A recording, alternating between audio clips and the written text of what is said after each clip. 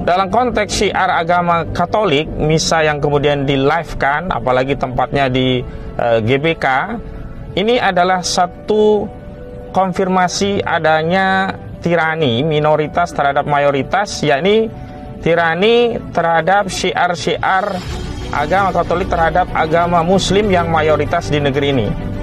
Semestinya hal ini tidak boleh terjadi apalagi jika niat kunjungan Paus Frankiskus itu adalah untuk menebarkan perdamaian.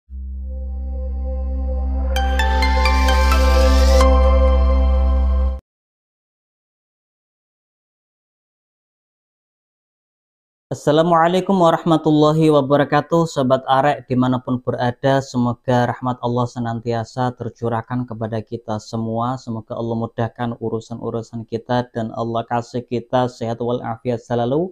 Amin Allahumma amin. Baik sobat di mana pun berada Baru-baru ini ramai kabar pemerintah menghimbau agar stasiun televisi Untuk menyiarkan azan maghrib dalam bentuk running text ketika menayangkan secara langsung ibadah misa akbar yang dipimpin oleh Paus Fransiskus di Stadion Utama Gelora Bung Karno pada Kamis besok ya 5 September 2024. Nah, adanya penggantian sementara tayangan kumandang adzan maghrib di televisi nasional ini ditanggapi oleh berbagai pihak ya.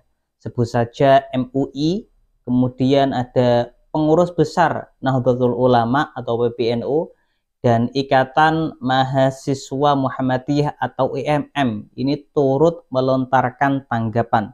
Nah, Ketua MUI bidang fatwa Profesor Kiai Haji Asrarun Niam ini menyampaikan dari aspek syariat Islam penggantian tayangan azan maghrib di televisi menjadi running text tidak ada yang dilanggar kata beliau. Lebih lanjut beliau Kiai Niam juga menyampaikan bahwa kebijakan ini sebagai bentuk e, toleransi beragama katanya. Kemudian juga pendapat dari Ketua Pengurus Besar Nahdlatul Ulama PPNU Kiai Haji Ulil Absor Abdullah ini juga mendukung kebijakan Kementerian Agama yang meminta agar stasiun televisi tidak menyiarkan azan ya secara audio pada saat e, siaran langsung misalnya yang dipimpin oleh Paus Fransiskus tersebut. Demikian juga Ketua Umum DPP Ikatan Mahasiswa Muhammadiyah Rian Betra Delza ini juga menyampaikan tanggapan atas isu tayangan azan di eh, TV nasional yang diganti dengan eh, running text ya.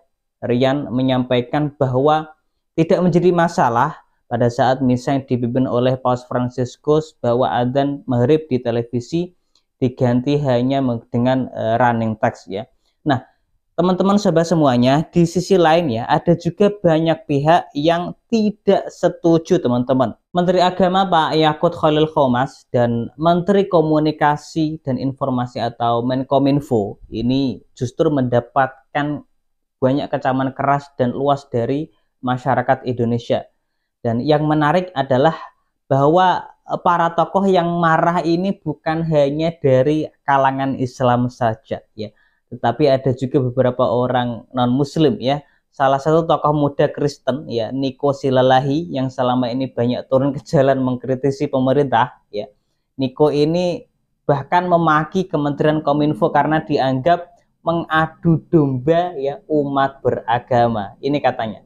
Ya kata Niko bangsat nih Kemkominfo, kami umat Kristiani nggak ada masalah dengan azan maghrib.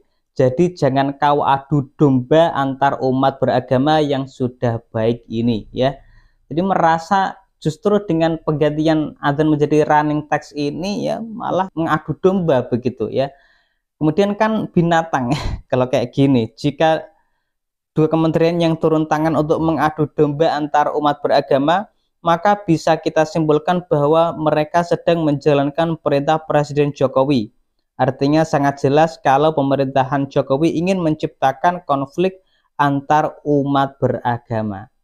Kemudian ada lagi jangan rusak suasana way Kemkominfo. Biarkan Paus Fransiskus melihat dan merasakan langsung kehidupan dan keseharian kita apa adanya. Jangan gara-gara disuruh menteri lo yang Katolik KTP itu lo pada jilat gitu ya. Kemudian ada yang membagikan video ini ya. bagaimana mereka bermain musik sedang asik-asiknya. Tetapi ketika ada suara azan apa yang mereka lakukan?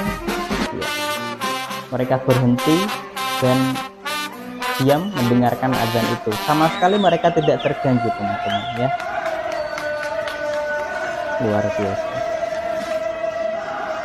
Ya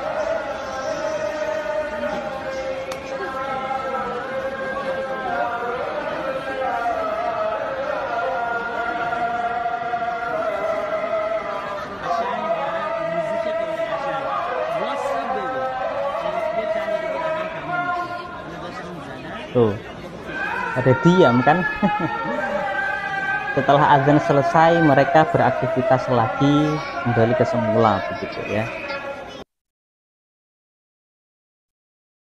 Ya, kemudian ada berkomentar padahal mungkin Paus juga tahu kalau azan itu panggilan suci umat muslim untuk beribadah. Kenapa harus diganti? Dan sebagai tamu harusnya tahu dong peraturan tuan rumah apalagi di negara yang mayoritas rumah muslim, mayoritas muslim. Toh azan tidak sampai 5 menit ini juga masuk akal ya. Paus itu juga tahu kalau azan ya sudah menjadi ibadah umat Islam. Jadi ya Paus harusnya menghormati tuan rumah begitu. Oke, jadi itulah pendapat dari orang-orang non-muslim. Mereka saja merasa senang dengan suara adzan ya.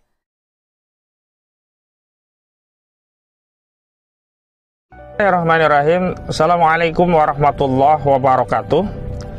Saya Ahmad Kozuluddin Sarjana Hukum, advokat dan juga aktivis Islam Menyatakan protes keras terhadap rejim Jokowi Melalui Kementerian Kominfo dan Kemenak di mana berdasarkan usulan Kemenak dan juga ditindaklanjuti oleh Kominfo bahwa pada perayaan Misa Paus Franciscus hari Kamis tanggal 5 September 2024 ini syiar sholat dengan seruan azan ya maghrib itu diminta untuk dihilangkan dan kemudian dikerdilkan hanya dengan running text di antara siaran langsung dari misa yang disiarkan secara langsung oleh seluruh uh, stasiun TV nasional. Kritik saya adalah yang pertama, bahwa misa adalah bagian dari syiar agama, bagian dari ibadah agama Katolik, sehingga misa bukanlah kegiatan umum yang bisa ditonton oleh masyarakat Islam seperti lelang amal dan seterusnya begitu. Karena itu dalam konteks ibadah misa bagi orang Katolik, umat Islam jelas memiliki prinsip lakum dinukum waliyadin. Bagimu agamamu dan bagiku agamaku.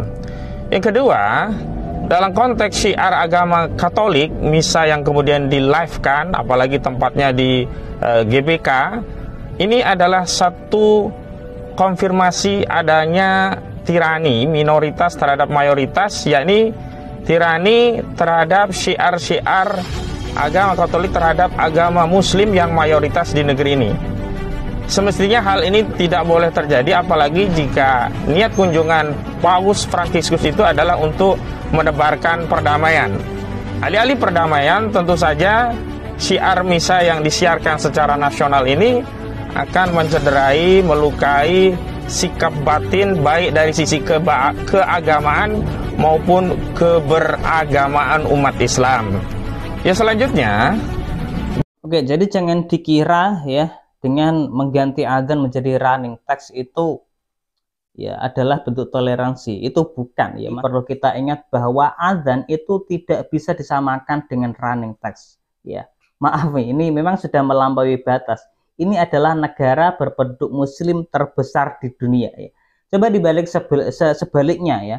Misal Natal kebetulan hari Jumat ya. Apa ada imbauan lonceng gereja jam 12 diganti dengan running text ya? kan nggak ada ya kalau ada ya lucu jadinya begitu kan ya. Oke itu adalah pernyataan kontroversi dari keputusan Kemenak dan Menkominfo. Ya itulah informasi yang bisa kami sampaikan. Kami tutup. Wabillahi taufiq wassalamualaikum warahmatullahi wabarakatuh